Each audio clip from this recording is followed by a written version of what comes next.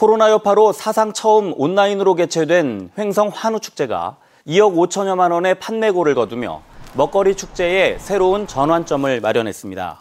횡성 한우 축제는 지난달 15일부터 30일까지 축제 홈페이지와 유튜브로만 진행 됐으며 누적 조회수는 442만 9천 회로 온라인 마켓과 라이브 커머스를 통한 횡성 한우와 농특산물 매출액이 2억 5천만 원을 넘었습니다. 횡성문화재단은 앞으로 온 오프라인 융복합 축제를 대비하는 시험 무대가 됐다며 홈페이지와 온라인 마켓은 축제 이후에도 계속 운영해 소비자들이 횡성한우와 농특산물을 구입할 수 있도록 할 예정입니다.